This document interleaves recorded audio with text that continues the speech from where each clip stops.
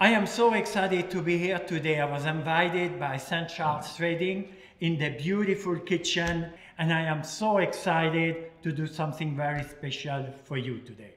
I'm Chef Alain Roby and as you can see behind we have a selection of chocolate that I will be displaying hopefully in the sugar pieces I'm going to do now for you. So let's get started. So here we go.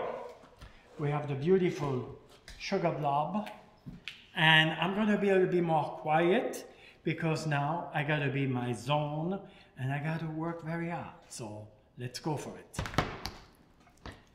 What I can do is to explain you the different step. What I'm doing now is I'm pulling sugar and that's what the name actually pull sugar comes from. You see it's very opaque and not very shiny but as I, as I keep pulling the beautiful shine will start appearing.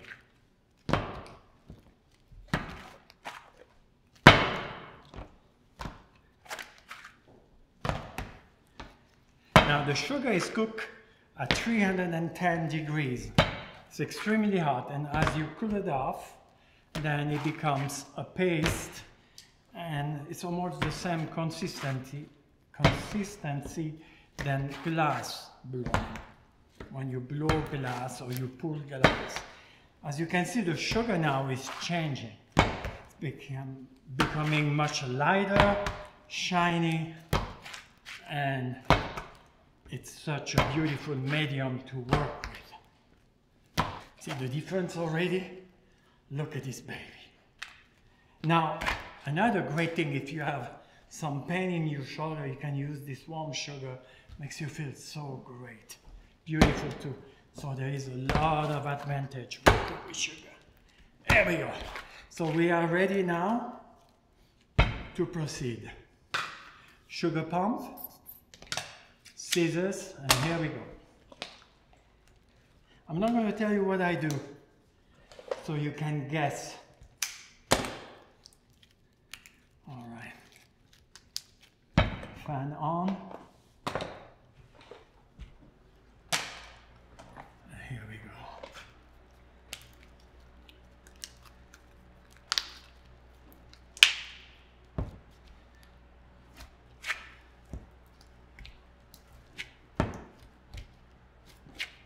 Sugar is one of the oldest culinary art. The, the court of the King Louis XIV had an am- amazing banquet. And in archive, you can see already some sugar work being done for the king. Okay. What I'm doing now, I'm creating a pouch. And with this pouch, I will let on insert the sugar pump and do the work which is called the blowing sugar. You have different technique with sugar. You have the blown sugar, this one, the pull sugar where you pull ribbon, do roses, and then you have the pour sugar where you have a form on the marble and you pour liquid sugar, let it set, and then you have a form, and then you can stand up, decorate, and do all kind of fun stuff with it.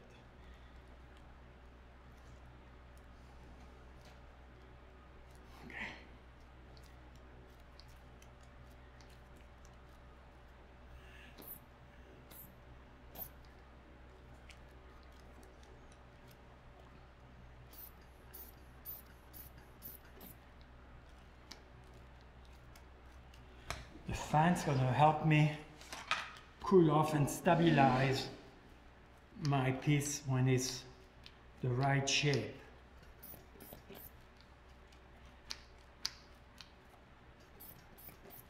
Now blowing, uh, blowing sugar is the most difficult technique in the sugar work.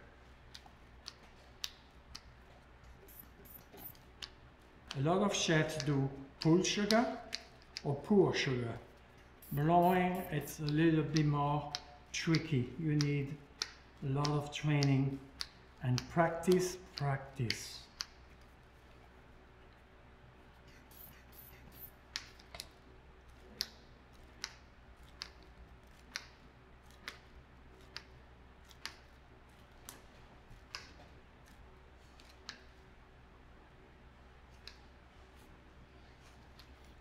Now, if you have a little belly, it really helps a lot to create that piece. It's very good.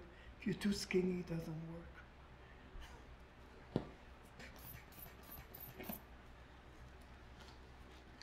Here we go. Now, the tricky part with this technique is if you, if you wait too long, the sugar gets hard, then it cracks, and then you have to start all over again.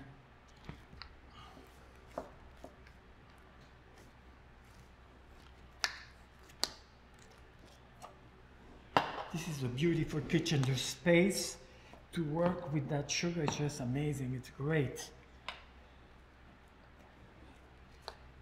Okay.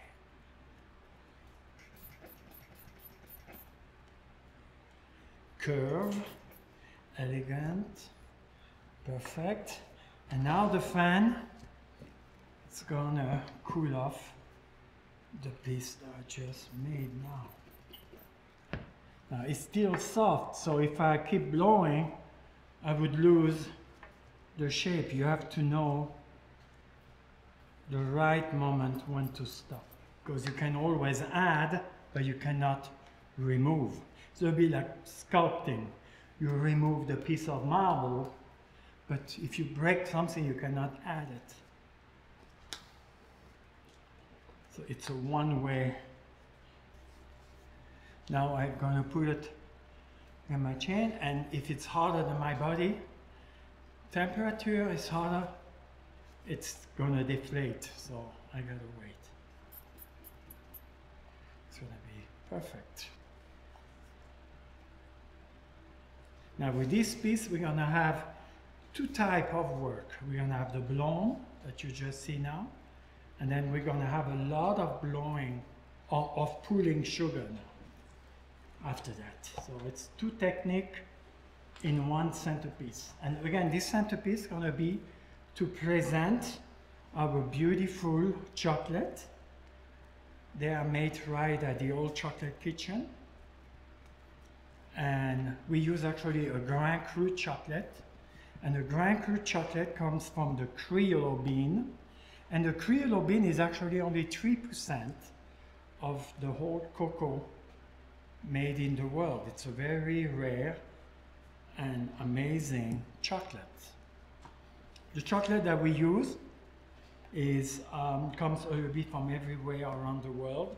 We have some chocolate that we use from Ghana, from Venezuela, Ivory Coast, Grenada. Uh, the chocolate that I like the most, uh, really the finest Criollo for me is the one from Venezuela. It's an amazing, great chocolate. So, chocolate are usually presented in a chocolate box. We're going to do something very different, so you're to love it. Now this is the most critical of the whole piece. This is where my heart starts palpitating. Can you hear it? No? I feel it. I have to remove this pump from this. And there is a 10% chance that by removing this, the whole thing's crack. So let's keep our finger crossed and see what happens.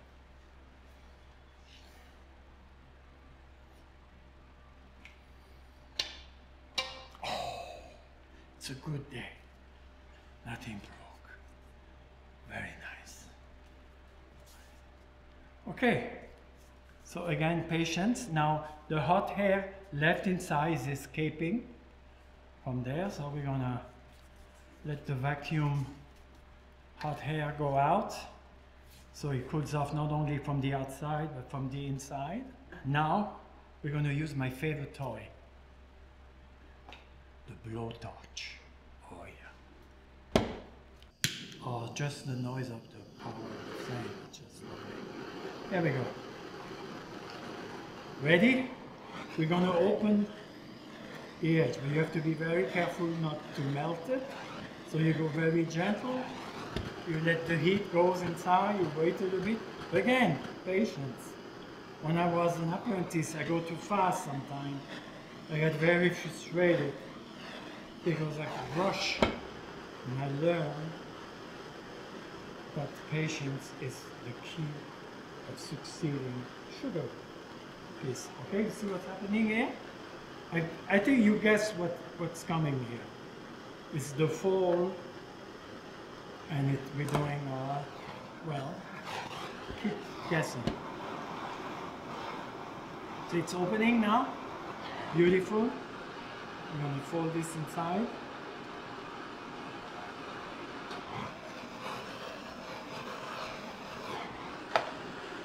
And we're going to fold. Patience, patience, patience. That's the word you're going to hear the most. Patience. Step by step.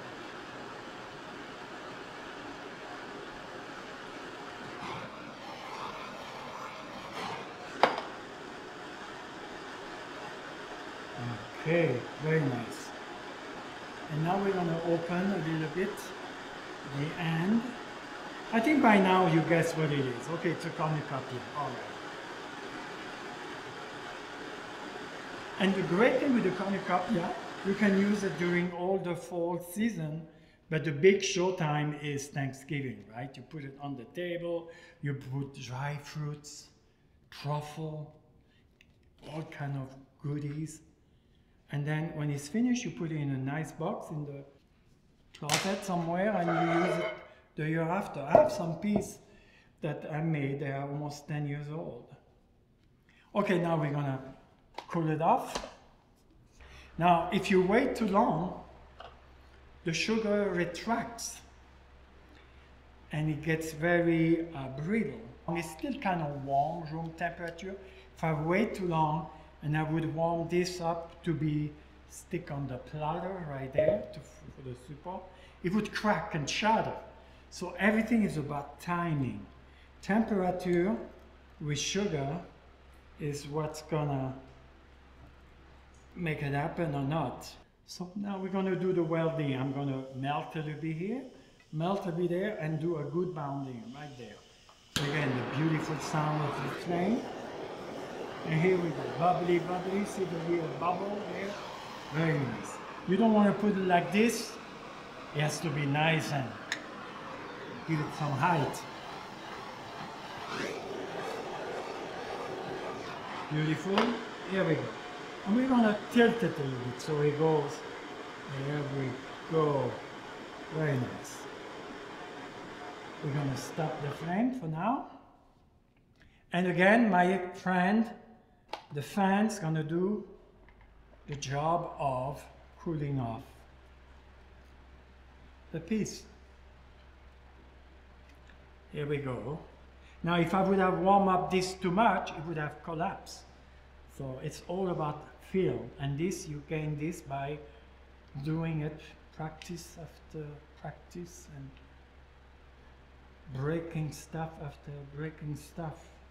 But never give up. I tell my student, if you do sugar work, it's the most frustrating culinary art you will start in your professional life. But never ever give up. And who succeed in this art is people that never give up. Accept failure, pick up your piece and do another one. Okay, now I'm turning this piece so the opening is right on front of the fan. And you see now I can leave it like this. Should be okay, but I don't trust. I keep holding it. Now, there is the welding between the cornucopia and the base. Doesn't look very nice. It just, so we're gonna make it look good, right? So now here we go we're to do the pull sugar technique. And here we go.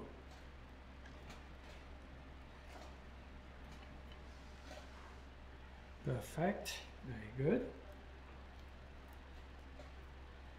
Now my finger, I told him, Master, I do a lot of sugar, right? So I don't have too much feeling in my finger anymore. I have no feeling in my hands. but I do in my heart. So that's very important. Here we go. So we are ready to finish the and the base. Make it nice and clean. So here we go. This what you call a ribbon. We're gonna do actually some really exciting green ribbon on top of the.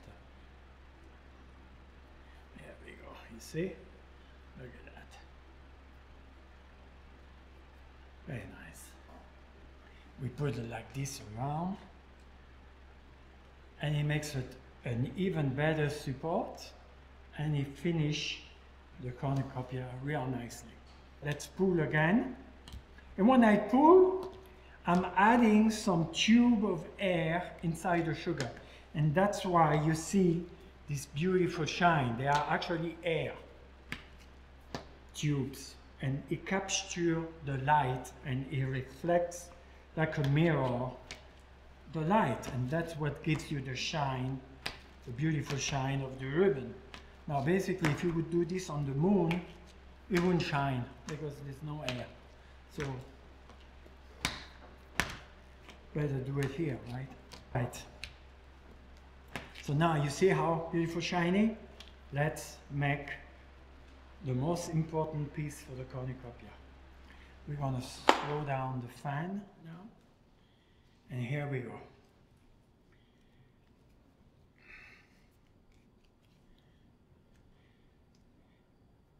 we stretch it.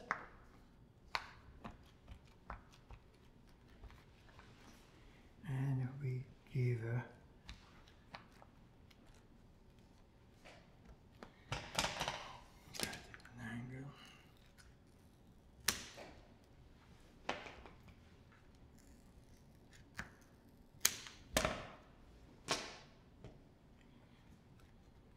And now the fan is back.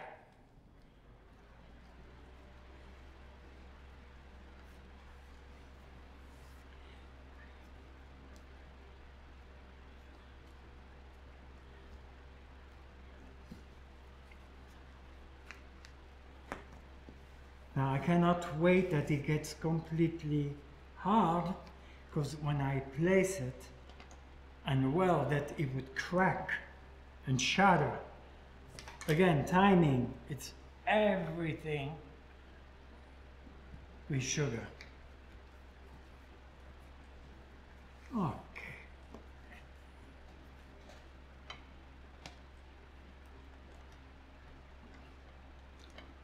Lovely. I'm ready to go.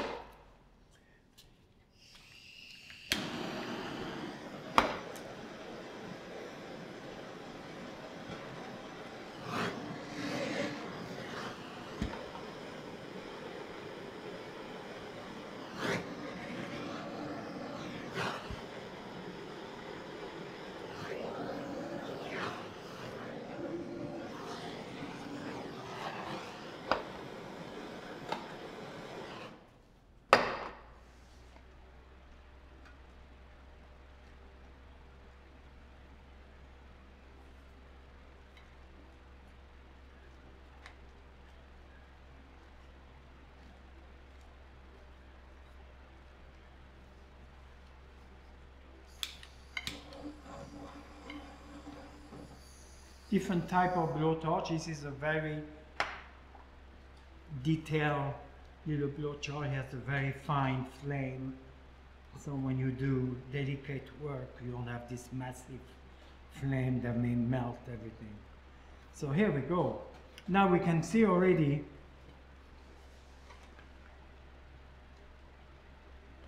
the entrance,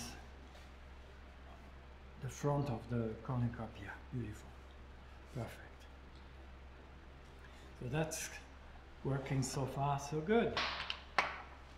And I wanted also to thank St. Charles Trading for the great sugar that I'm using now. That makes a big difference to the quality of your sugar and they really have an amazing product there. So perfect, you see how great it's working so far. So amazing. Now, let's work on the green ribbon. So I'm gonna color now some of the sugar to do the green ribbon with some few drops of blue. Voila. Voila is French for that's it. I still have some French word left over in my repertoire. Amazing. Now you're gonna see it's gonna turn green. It's actually gonna be a very warm green because you have a base of orange and when you add the blue it doesn't make a, a harsh green. It makes a very beautiful warm green. See how it's changing now? Let's close the fan. And this green is gonna be part of of the orange. It's all it's a different color, but it blends. It doesn't clash. Sometimes you want color to clash because that's the effect you want. But for a fall display, it's nice when everything kind of see. Look at this. So you see behind this green kind of an orange yellow and that's gonna be just perfect. Okay, so let's do something that's gonna dress up the tail of the cornucopia.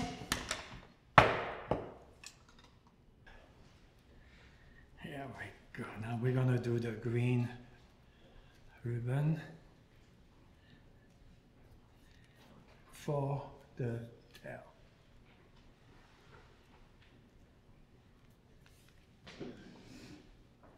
There we go.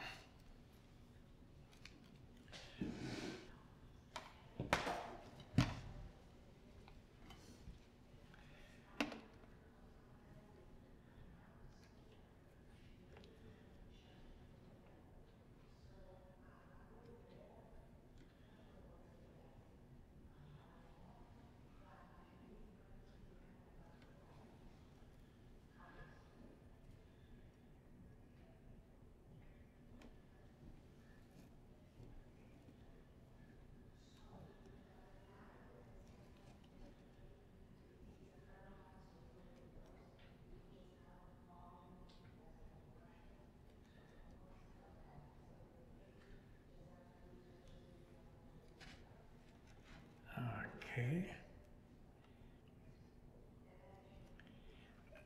Let's put the fan back.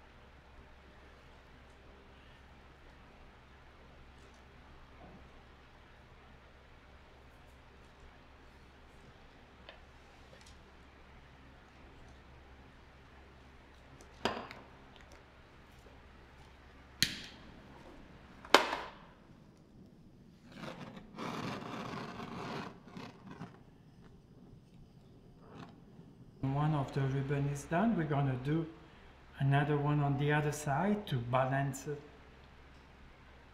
the piece.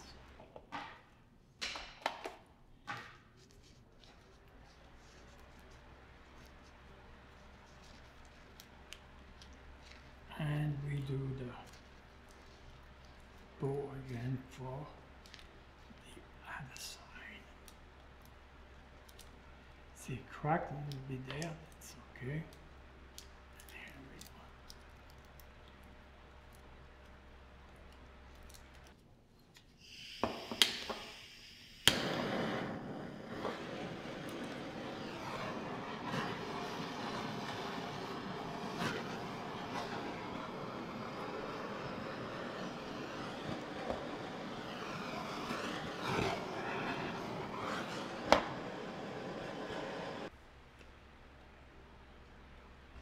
There we're gonna make the decoration for the edge.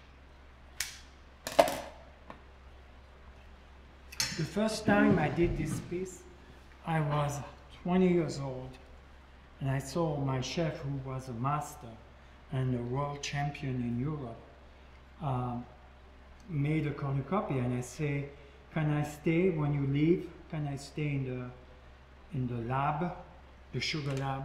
We call it a lab in France. And um, I would like to practice. He kind of smirk and say, you just saw me doing it once. You should go, you know, with me a few times before than to do it by yourself. Anyway, he left and he left me the place by myself. And I did a cornucopia that was almost as good as his, and I could not believe it. And the next day when he came, he looked at it, didn't say one word the whole day, and at the end of the day, took me in his office and said, Alain, this is really, really good.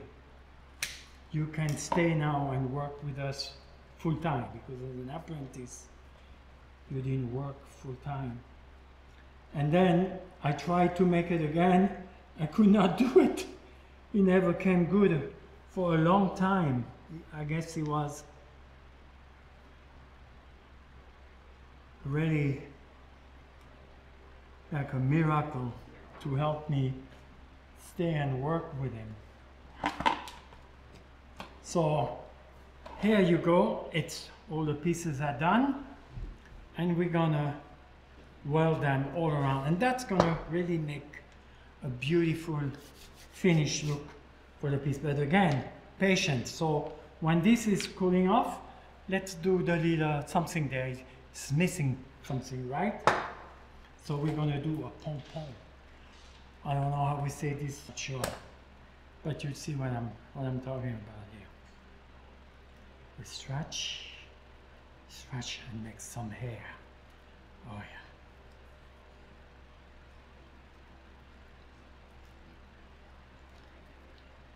See stuff happening here. Like Chi- Chinese noodle. Here we go.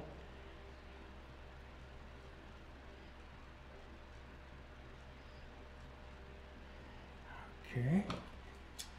Cut it.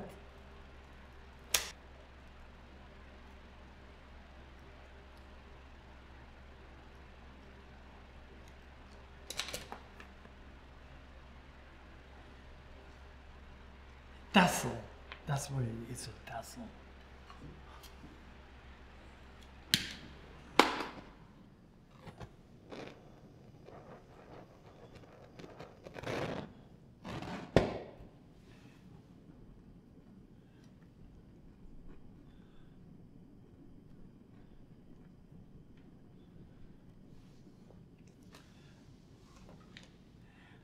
Okay.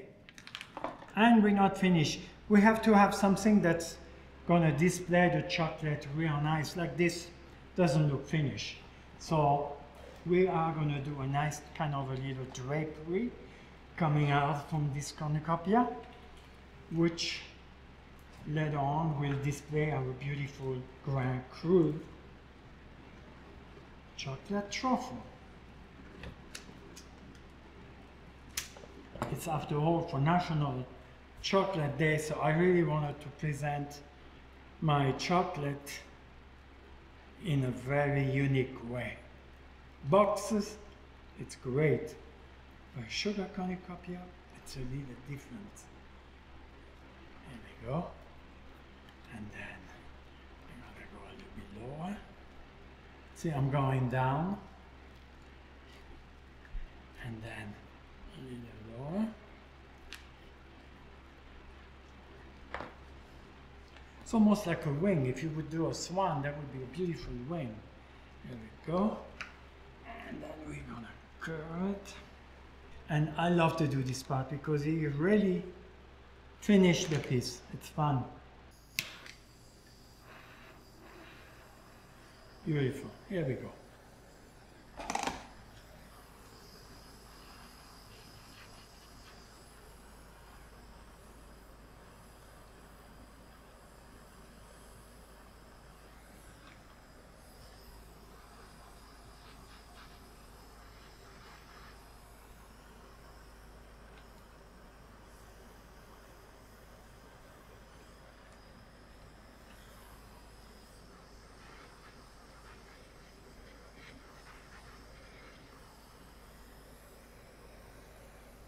We tilt it a little bit on the front, not too flat. Always give some movement.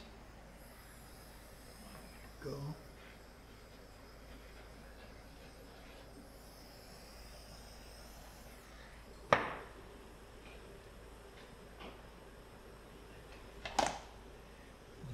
Fine. Let's do the other side.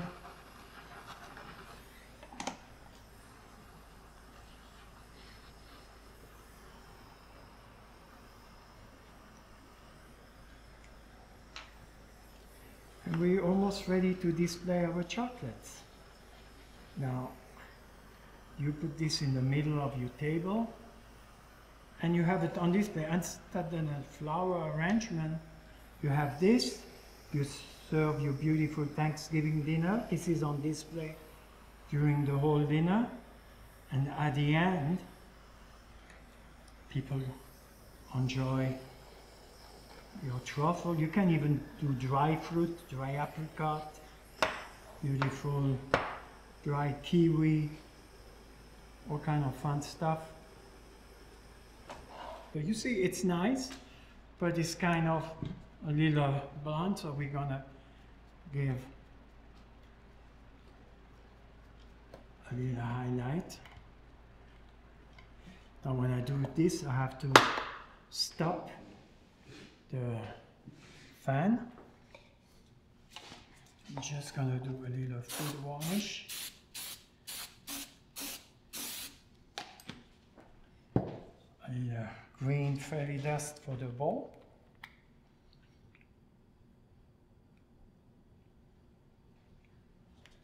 So we are okay. And now I'm gonna get my truffle behind. We are gonna set it up and we are done. So I have to make sure the sugar is not hot because otherwise I will have a chocolate sauce at the end. So I need to cool off a little bit more. I feel it's warm. And when it's cold, we set up the truffle.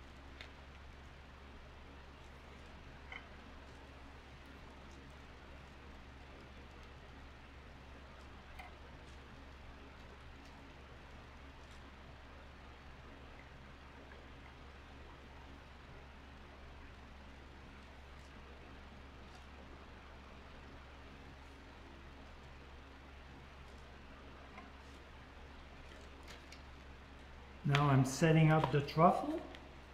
The sugar is cold, so it's not going to melt my delicate, sensible chocolate.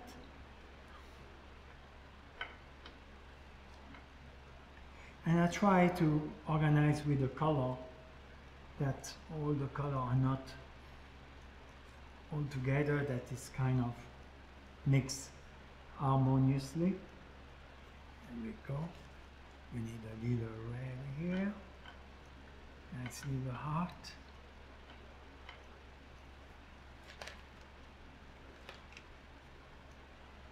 And the pink all the way up. We need a little dark here. And we are done. Enjoy.